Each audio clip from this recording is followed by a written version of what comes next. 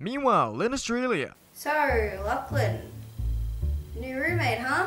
More or less. What's his name? Who? The name of your roommate. Who? That guy, the being on your left. Who? The guy standing right there. Who? Charlotte? What?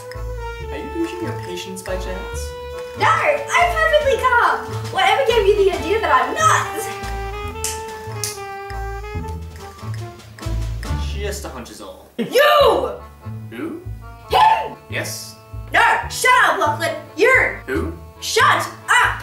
What is your name? I hate you. I hate you both. Why? Because you won't tell me his name. His name